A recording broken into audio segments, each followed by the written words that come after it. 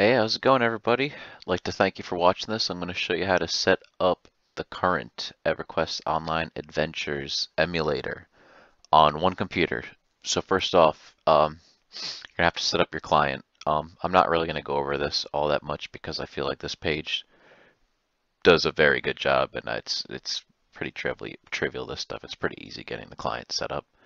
Um, so just so you know, if you have any problems with it, the client setup, just come here. This is the way to do it. Um, but yeah, you're going to need, obviously, um, the way I'm doing this, I'm doing this on Windows 8.1 host, and I'm going to be running Windows 7 inside of a VirtualBox. So if you're going to need to get an, uh, another ISO of uh, Windows 7, if you're already, uh, and obviously I'm not going to tell you how to do that. Um, so first thing first, you're going to need newest VirtualBox for Windows. Grab that, download that download the extension pack too. You're going to need that. Uh, you're also going to need link here. This isn't really shared yet because this was just released, but here's the uh, the link for the the latest uh, testing server. But yep, so you're going to install your VirtualBox. That's uh, it's a pretty quick install. When you're installing it, you're going to need to res reset your networking settings for uh, very quickly, just because it's got a it's got to set up like the bridging and stuff for that, just so you know. But yep, um, to set up your new thing, first thing first, when you uh, when you start up uh, VirtualBox, go over here into File, Preferences, go to your extensions, install install your extension pack. Do that first thing first before you uh, start messing around. But then you're going to want to go over here to New just name it Windows 7. It'll it should automatically detect it and set it to 64-bit. Um, if you start this up and you're only seeing 32 bits, that's because you don't have virtualization enabled. You're gonna have to go into your BIOS settings and enable virtualization. And um, if you go in there and you see that virtualization is enabled and you're still only seeing 32-bit, you're gonna want to go in and disable Hyper-V. That's just uh, that's like the Windows uh, version of uh, virtualization, and you don't want to use that that uh, causes some issues. So yeah, you're gonna want to go and set it to Windows 7 64-bit. Go to next. Oh, I've got already got it named that.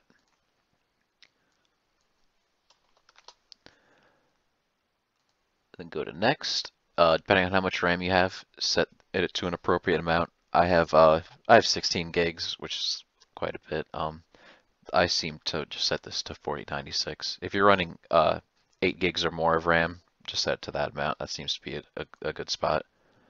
Uh, create the virtual hard drive now. Just set it regular virtual VirtualBox disk image.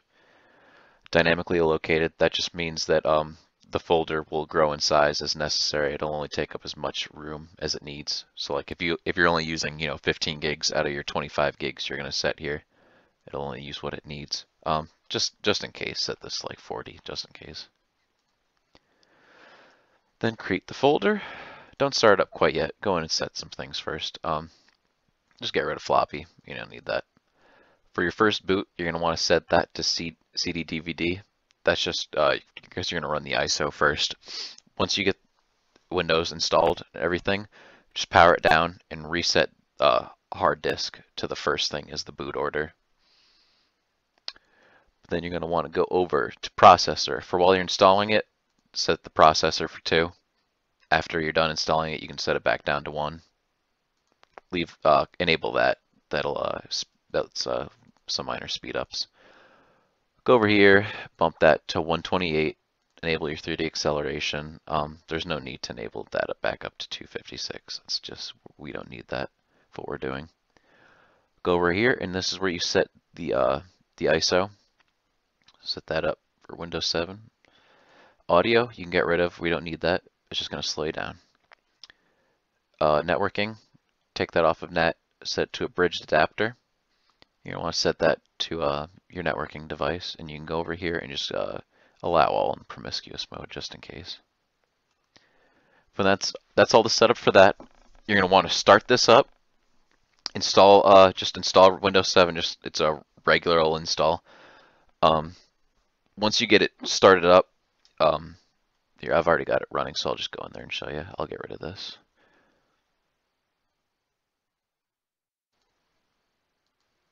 So once you got Windows 7 up and running, first thing you're going to want to do, go over here, go in your control panel and just disable system updates. They're, they're, it's crazy slow, especially if you're you're running this all on one hard drive. It's it's going to take forever to run the updates, so just get rid of it. You don't need them. Um, you're also going to want to go in to your networking settings and set up a static IP address. So go in here, right click on this bad boy, go to properties, unclick IPv6. You don't need that. It's just going to cause issues. Perhaps. Actually, I don't even know if it will. We just we disable that just in case. Go to your IPv4 settings. Um, you can probably just copy what I'm using. Just check to make sure that uh, this is the address for your router. If it's not, it might be 192.168.0.1, so you're just going to want to check that. Everything else should be uh, the same. Same for this. Make sure that this one is set to your uh, your router's IP address. And in here, this is just Google's DNS address, just in case. But then that'll be all good. And then um, lastly, you're going to want to go in, insert your guest additions CD image and install those. That'll give you some more capabilities. You can uh, link folders in between, you know, your two different operating systems, drag and drop, shared clipboard. Uh, there's a lot of cool stuff you can do with that. But uh, it, there's also a lot of, there's uh, speed ups, so you're going to want to do that. So yeah, insert the guest CD image, run that, you'll need to restart after that. I've already got that done, so I'm not going to do it. Next thing next, you're going to need all of the different packages for the server stuff. That's all over here on the wiki page. Everything you need, all the links, all the descriptions on how to use this stuff. It's all over there. I'm just giving you a little video showing you how to do it. Uh, first thing you're going to want to run, DNS catcher. That's going to reroute always with this stuff too the first time you're going to run this, go into properties, do this for every all of these programs, set, set it as an administrator. You always want to run server stuff as administrator. So yep, and then run that as administrator. Copy what I've got set up right here. It's just, the name is patch.everquestonlineadventures.com. Use all these same settings. Start that up. It's a great, great little program. Then you're going to need to set up the file system. So you're going to need a HFS file server, and you're going to need the patch folder. Same thing, start that up as administrator. And just so you know, the first time you start this stuff up, it's going to ask you if you want to enable the stuff for uh, to go through your uh, your firewall, and just let it go through just on your home your home uh, settings. For this, to need to set this up like this. Change the port to 7000. That's not uh, the native setup. Leave it in expert mode just so you can see traffic and stuff like that coming in and out, just in case this is the problem. To set up this folder, you're going to want to go over here, right click on this guy, add a folder from disk, pick the patch server, hit OK. It's going to ask you if you want to create a real folder or virtual folder. Create a virtual folder. once that's set up, they'll be in there. Go to Save File System. Save File System. Then once you load this up every time, it'll remember these files, so you don't have to keep adding them. Drop that boy down. Then you're to need to set up the TCP packet sender. This is what gets you through uh, the log, the account login screen. So this is um, seems to time out on me pretty quickly. So that's why when I made the video, I just went through and I didn't put in a name or anything. I just, I hit uh, login just as quickly as I could just because it times out really quickly. And then if you don't get it right away, you have to wait 60 seconds or sometimes it didn't even work again. And I had to restart over. So just make sure you log in through that fast. Um, the hex code that you're going to want in there, that's over here on the server setup page under TCP packet sender. Copy that whole response right there and then you add that under the hex right there. Um, every time you start this up, it sets the TCP server port back to the right this right here. So you're going to want to set this to 9735 every single time you run it. All right. the last thing you're going to need to run, obviously, is the actual emulator, uh, server emulator program itself. Um, so, uh, like I showed you here, this is the link. This is where you're going to get this stuff. This includes the uh, the source code, and it's uh, it's already compiled into Windows 32-bit. So um, I'll show you what you got to do for that. Just you just have to set up the files for it. So this is how the download's going to come when you get it. You're just going to want to take this and drop it into this folder. Um, there, you're gonna if you drop the DLL into the other into the source code in here, it's going to give you problems, tr troubles, tr problems. So there you go. Drop that in there. I ended up moving the folders around just so it's all uh, organized better under here. Named it EQOA So then um, to run this, you're going to need to um, use command prompt. Start up your command prompt. You might need to search that. It's not normally in the in the programs. Run that as administrator.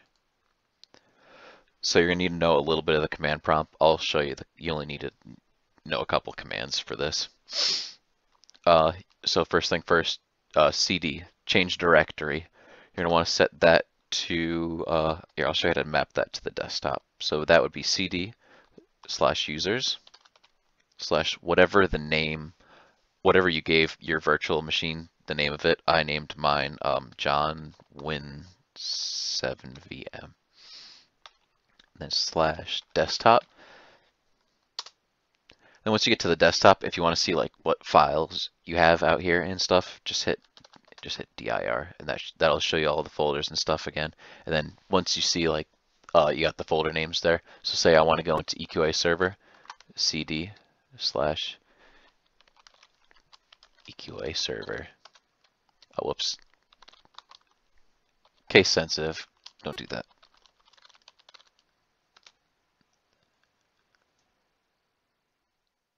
Oh, whoops. No, that, that wasn't the problem. I, I don't need the slash. So not case sensitive, just don't put the slash in there. The slash is only for um, coming down from the root directory. And then once I'm in EQA server, then cd EQAMU to get into that folder. And now I'm going to actually run the program. This is how you run the program. EQOAMU.exe. Then it's going to ask you what IP address you're using and what port you're using. For the code that we have right now, it's all hard coded to that 112 IP address.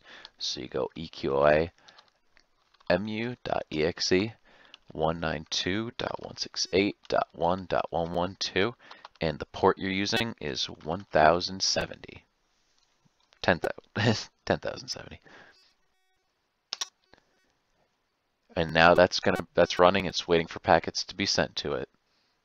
I'll just show you the show you that this is all working now. Start this bad boy up fast.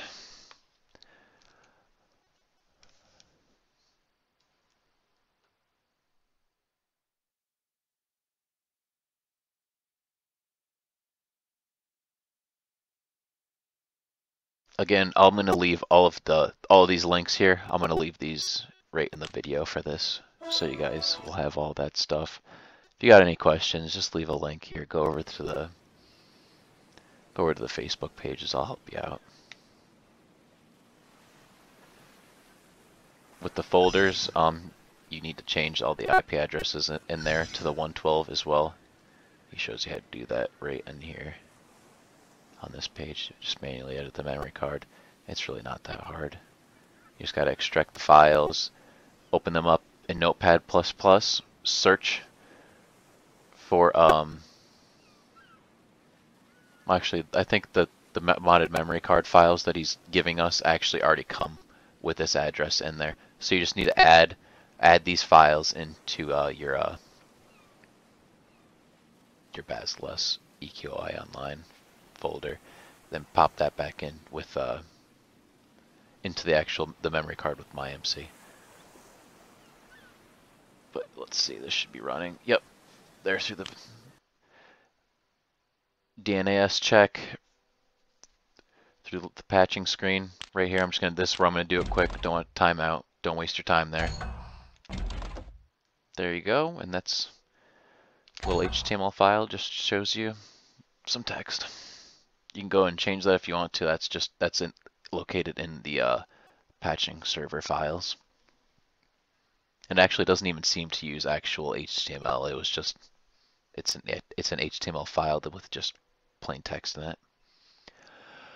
Let's see. Now this is the actual C program now running, getting you right here. He named this Venturi. Getting that bad boy. There you go. This is as far as we can get right now.